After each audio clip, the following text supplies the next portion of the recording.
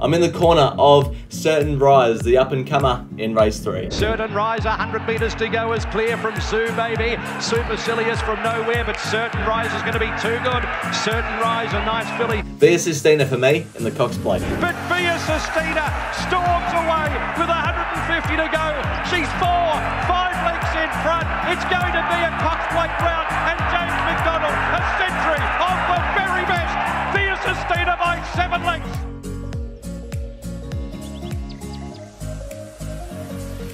Hello, everyone, and welcome to my preview of Derby Day this week at Flemington. It's that time of the year again. It is Derby Day, and some people describe it as Christmas Day for punters, and I tend to agree because you, you never know what you're going to get on Derby Day, and I'm just going to be happy with one winner on this card. It's that hard. Um, Sportsbet feed, if you want to be the 100th follower on the Sportsbet feed, go over to Sportsbet and follow me, the Saminator Dash YouTube. Wall of Fame, Via is going up, but forgot to print out the picture. Let's get on to race number one. Race one to start the day is the Group 3 Carbine Club Stakes over the 1600 metres for the three year olds. Feroce is the favourite at $2 ahead of Aliana at $4, $9.50 out to Stylish Secret, and then longer odds the rest. We're going to take a look at Feroce's performance in the Caulfield Guineas last start where it was oh so close um, to beating Private Life. Now, it had the track pattern in favour on this day. It flew up the inside, just peeled off Private Eye's back with about 200 metres to go. Um, Private Life, not Private Eye, um, peeled off Private Life's back and just couldn't pick it up.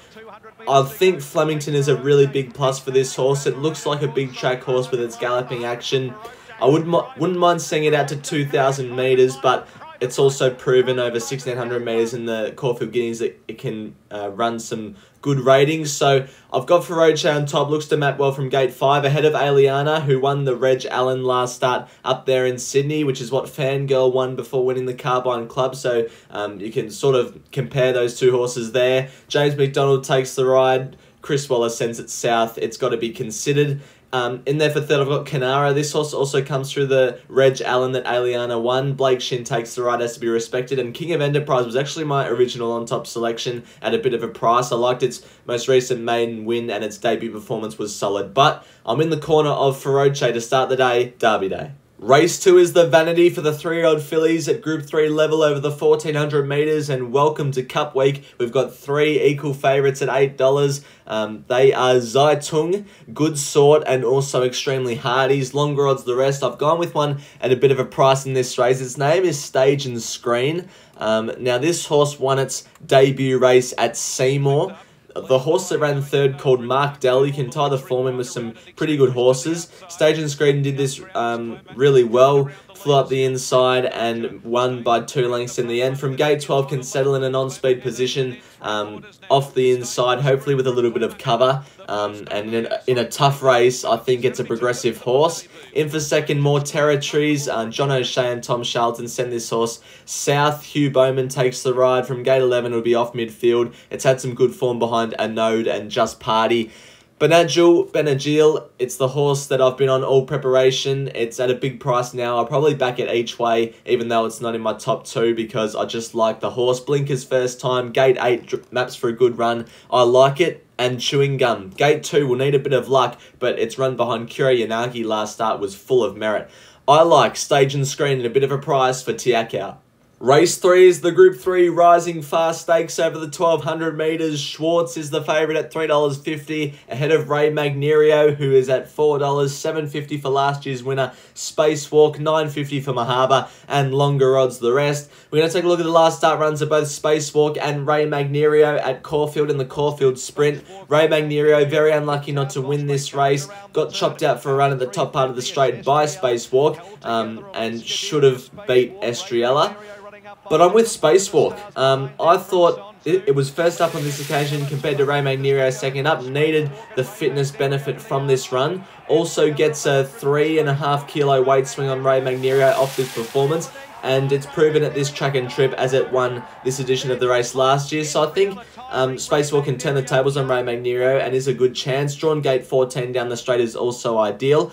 I've got 0.75 units to win on Spacewalk, also 0.5 units to win on Star Patrol, who was also proven at the track and trip. Forget its run first up. Um, it's a really good horse on its day. Blake Shinn takes the ride. I can't believe it's double figures. It'll run a race. Um, as I remember, try to remember who I've got in for third. Johnny Rocker, also at a bit of a price for Huey Bowman. This horse um, can't forget what it did in March of this year, running second behind Imperatriz. Um, it's racing well, and I think it can get into a placing on Saturday. And Charmstone will improve out of that first up run in the Northwood Plume and is proven down the straight. But I'm with Spacewalk and Star Patrol in race three, the Rising Fast. Race four is the Group Two, the Damien Oliver over the 1400 metres. We've got two Ciaron Maher gallopers that dominate the betting. Jimmy Star, the favourite, at $2.70. Another Wil, 290 second favourite. Third favourite is Mighty Ulysses at 750 Double figures the rest. Now, we're going to take a look at the last start win of Jimmy Star in the Weekend Hussler at Caulfield. Um, this was a very good win considering how many winners were coming from the fence and up near the speed. Jimmy Star came from about midfield, um, right down the outside, and managed to win very impressively as well. It was second up on this occasion, third up on Saturday, should be ready to peak. Um, gate 10, I, I don't like. It'll have to get further back in the run than um, its uh, main danger in another Wil, but I just think the class of this horse mixed with the long Flemington straight, it'll have an abundance of time to wind up, and I think it can pick up the stablemate. And it's the two progressive horses, but I've gone with Jimmy Star ahead of another Wil who can't be um, dismissed. It's won seven from eleven. Forget its run last time. The Toorak handicap was ridden upside down by leading. Um, doesn't have to lead on Saturday and will be hard to beat. Mighty Ulysses was a good return winner at Caulfield defeating Buffalo River in the Moonga Stakes. And then in there for fourth, Tamerlane. J Mac rides from gate five. It looks to map well. But I like Jimmy Star ahead of another Wil in the Group 2, Damien Oliver. Race 5 is the Group 2 Wakeful Stakes for the three-year-old fillies over the 2,000 metres. Powers of Opal is the favourite at 250 coming down from Sydney, trained by John Sargent. 460 for Treasure the Moment, 650 for Jenny's Meadow, and longer odds the rest. Now, a lot of experts have taken on Treasure the Moment on Saturday, and I'm going to explain why I'm with it. So, the algorithm that I use, it um, popped out with Treasure the Moment on top, so I went, all right, I'll investigate this a little bit further. And as soon as I looked at it, I thought, you're a query at 2,000 metres. But then I just thought a bit deeper and thought, why is Matt Laurie running this horse at 2,000 metres if it's a query at 2,000 metres? He doesn't have, um, like he's not like a Ciaron Maher where he just has good three-year-old fillies galore in his stable. If he wants to go to a thousand guineas, he would have either run this horse in the Tab Vanity, which is race two, or even the Carbine Club, which is race one over 1600 metres. But he must think this is an Oaks filly or something like that because he's gone straight to 2000 metres with a horse that, off its replays, looks to ideally be suited at 1600 metres. So that's sort of um, told me, well, maybe maybe Matt Laurie thinks this horse can run 2,000 metres. Significant jockey upgrade from Beau Mertens to Damian Lane. Nothing against Beau Mertens, but um, Damian Lane is a quality rider. Draws gate 5 for a good run, and we'll see how it goes, I guess. Powers of Opal. This horse could just bolt in because it it is very good. Won a super maiden last start at Hawkesbury by six lengths. Before that, ran fourth in the Group 1 Daily Flight Stakes. James McDonald rides when John Sargent sends one south. It's usually really good. So, um, yeah, it's in with a really good chance. Jenny's Meadow's been oh so consistent um, in some really good races, especially last start in the Ethereal behind Too Darn Discreet. And then in there for fourth, I've got our Paramore. Tiakau and Blake Shinn combined. Decent maiden winner last start at Cranbourne. It's in with a decent chance. Treasure the moment for me, for Matt Laurie and Damian Lane in the Wakeful. It's that time of the week, it's last man standing. Geordie is still on top and the only one currently in the green. I had a winning week last week, as did Cole. So we'll move on to what we're doing this week. Um, Geordie is having 100 the win on Schwartz um, down the Flemington Straight in race 3. Sammy is going to have $100 the win on another Wil in race 4 at Flemington. I went to Collie last week and won. My algorithm's best of the uh, of Saturday is Toowoomba Race 6 number 2 Big Sky Country. It's first up, it should lead, and it only has to run 870 metres to do so. So Big Sky Country, 100 the win for me. Braden is going for, um, what's its name? Jenny's Meadow, 50 the win, and 50 the win on Sons Doot. And then Sky High Horse Racing is going 100 the win on Aliana in the first. That's what we're doing for Last Man Standing this week. Now we get on to the fun stuff. Race 6 is the Group 1 Coolmore Stud Stakes over the 1200 metres for the three-year-olds. Growing Empire is the favourite at $3.50 ahead of Traffic Warden who's at $4.20.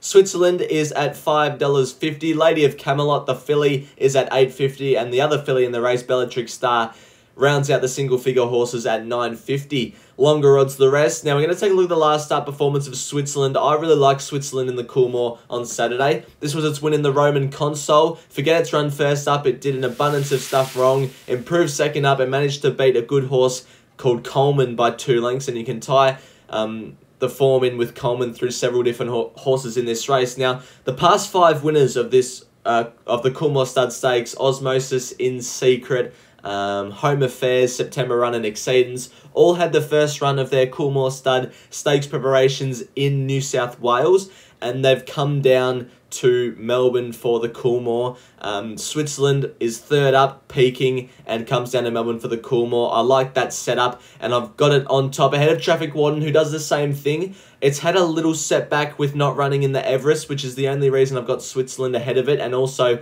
I think Switzerland's drawn better in Gate 8 compared to Traffic Warden Gate 3 down the straight. In for third, I've got Bellatrix Star. This horse was originally my on-top selection. Um, I still like it. It's won three in a row. It's been beating up on the fillies and it got in well in the weights against the older horses when it won last start at Caulfield. But still, it's very good. Blake Shinn rides from gate 11. That's a good gate down the straight. I wouldn't be surprised if it won. Growing Empire, um, the favourite, I was happy to take it on. I'm just a bit worried. It's fifth up compared to some of the other key chances that are third up and peaking. Growing Empire's fifth up. It's been up to Sydney. It's been back down from Sydney. It's done a fair bit of travelling and it's um, deep into its preparation. That's why I was just sort of questioning it questioning it because young horses, they're very fragile, they need to be well looked after. And I just think Switzerland um, and Traffic Warden are peaking third up and they've only travelled interstate once. So that's why I was with Switzerland and Traffic Warden ahead of Bellatrix Star and Growing Empire in the Coolmore Stud Stakes. Race 7 is the Group 1 Victoria Derby over the 2500 metres. Also for the three-year-olds, El Castello is the favourite at $3.70 ahead of Red Aces at 650 King of Thunder is at $7 and then double figures the rest. We're going to take a look at the last start win of El Castello in the Spring Champion Stakes just the Saturday gone. Um, at Randwick, uh, the very good win. This horse is four from four this preparation. It's absolutely firing on all cylinders.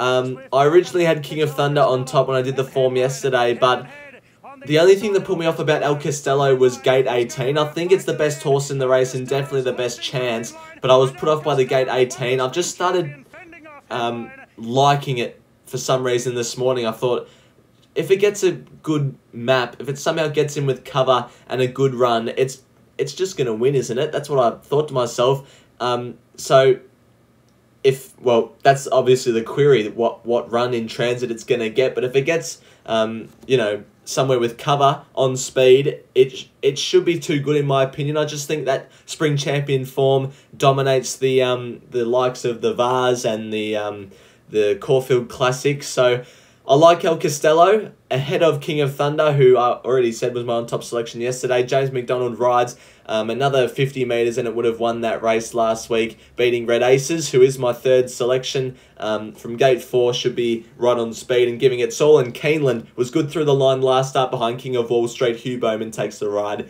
El Castello for me in the Derby.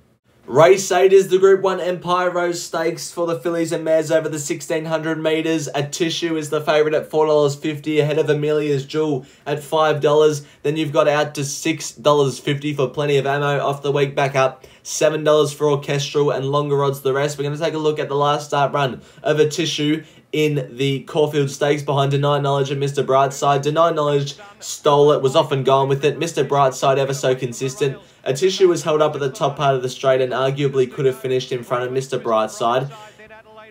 Atishu ran in this um, Empire Rose last year, where it got narrowly beaten by a horse called Pride of Jenni. There's no Pride of Jenni's in this race, so I don't see why it can't go one better. Draws Gate 9 is clearly the best horse in the race off form. James McDonald takes the ride, um, and I think it's a really good chance of winning the Empire Rose on Saturday. In for second, I have got plenty of ammo off the week back up um, I like. It's third up now, ready to peak. Maps for a soft run for Geordie Childs from gate three. Very progressive. I like plenty of ammo. In there for third, I've got El Safina. This horse was originally my on-top selection. I've had a few selection changes since I first did the form, but Blake Shinn uh, goes back on this horse where he won it on it impressively um, in the stock stakes two runs ago. Uh, it's in with a good chance. And then in there for fourth, I've got Orchestral, was good through the line in the Toorak handicap and will be fitter for that run.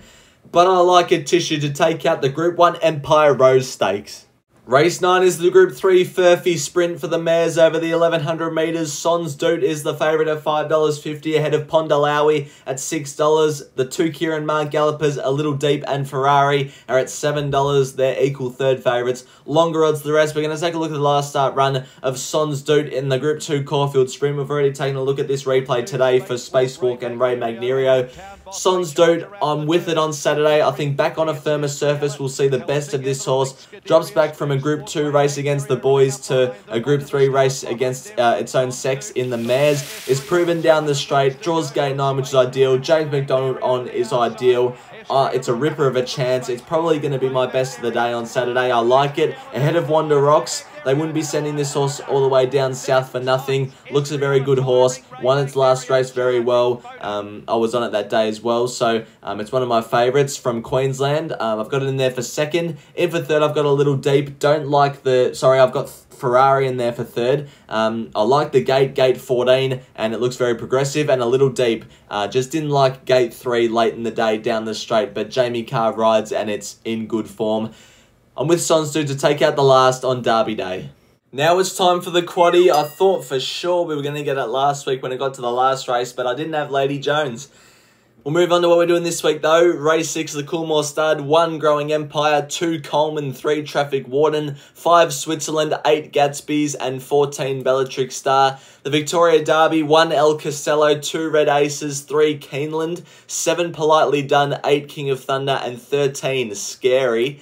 In the Empire, Rose, 1 Atishu, 2 Amelia's Jewel, 3 Orchestral, 7 El Safina, and 13 Plenty of Ammo. And then to finish off in the Furphy Sprint, going a little bit skinnier with just the four horses, which is my top four. Sons Doot, a little deep, um, Wonder Rocks, and Ferrari. That's what I'm doing for the quaddy this week. Thank you everyone for watching my preview of Derby Day. In my opinion, the toughest day on the calendar year to tip winners. It's a 4.25 unit spend this week, so if one of the horses I have units on wins, I make a profit. So I'll be pretty happy with that. Stay tuned. Saturday night, I'm going to do a Melbourne Cup live reaction to the barrier draw and also the Melbourne Cup tips. Um, for that specific race, the Melbourne Cup will be up on late Saturday night when after I do the barrier draw. So that'll be lots of fun. Make sure you stick around for that. Until then, bye for now.